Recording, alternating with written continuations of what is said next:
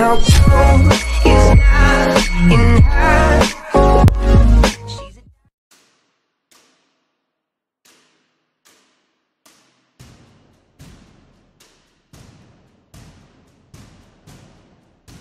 Ride and handling goes into the Jeep Compass Plus column, but power is mediocre. The 2018 Jeep Compass deserves an engine that can show off its ride and handling talents while we give it a point above average for ride quality on its smaller wheel and tire combinations and one for its steering. We take one back for an underpowered four-cylinder that leaves us wanting more all told. It's a 6 for performance the US spec Compass gets a dated 2.4-liter four-cylinder with 180 horsepower and 175 pound-feet of torque.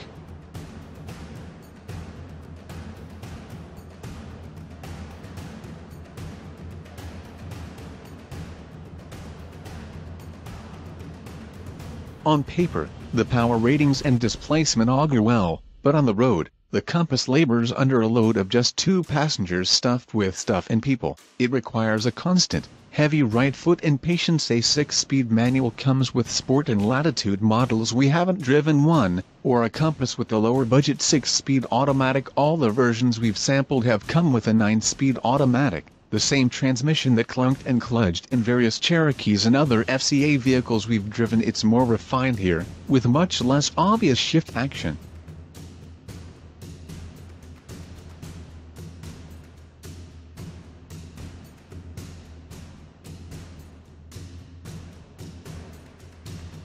It's mostly noticeable when it steps through a few cogs to tap deeper acceleration. The Compass has an independent suspension on all models, and it's set up for on-road comfort unless you spring for the Tough Mudder Trailhawk model. Other Compass crossovers have a soft, compliant setup with the base 16-inch wheels, and don't feel compromised by the slightly larger 17-inch setup. Pay into the 19-inch wheel and tire sets and the Compass ride gets busy and jittery. The Compass doesn't need them. It metes out a fair amount of body lean, but sweeps confidently into curves.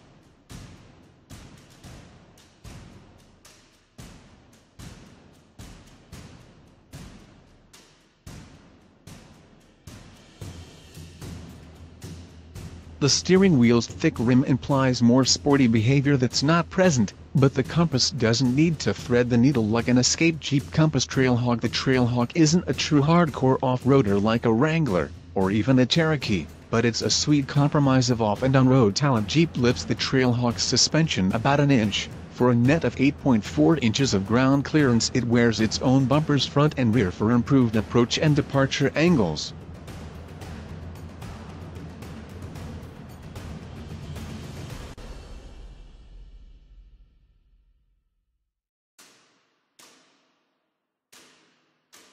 Its 9-speed automatic simulates a low gear range by locking into its ultra-low first gear.